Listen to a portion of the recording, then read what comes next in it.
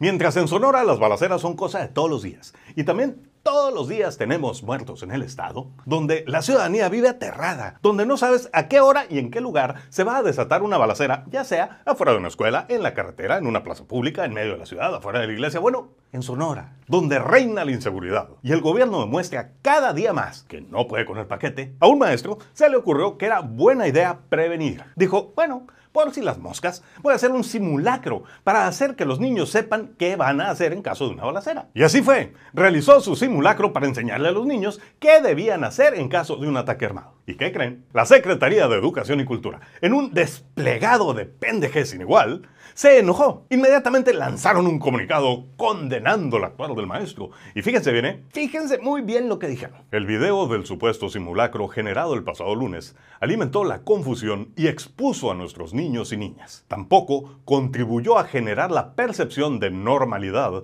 que nuestros planteles requieren para garantizar educación de calidad. ¿Normalidad? ¿Es neta? ¿En qué pinche mundo viven?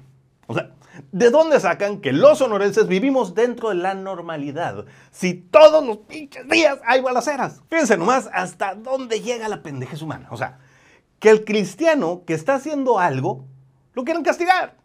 Porque dijeron, oígame, no, así los niños van a pensar que estamos inseguros. Señores de la SEC, estamos inseguros. Y en lugar de ladrarle al maestro que trata de hacer algo por sus alumnos, ¿por qué mejor no van y le ladran al gobernador o al presidente de la República, que son los verdaderos responsables de la seguridad de los sonorenses, en lugar de ir a ladrarle a un maestro? Digo, porque ya hubo otra balacera en una escuela. ¿Neta? ¿Quieren que los niños se sientan seguros, que anden por todos lados como si nada pasara?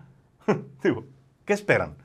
Una desgracia, que muera un niño por su incompetencia, pero dejen que se entere el gobernador Durazo. Van a ver lo que va a pasar. Cuando se entere el gobernador se les va a armar. Tuvimos también la iniciativa de un maestro que buscó capacitar a los niños de su escuela en prácticas de defensa ante la eventual agresión eh, de alguna organización eh, criminal. Eh, muy lejos de la necesidad de una práctica de esa naturaleza.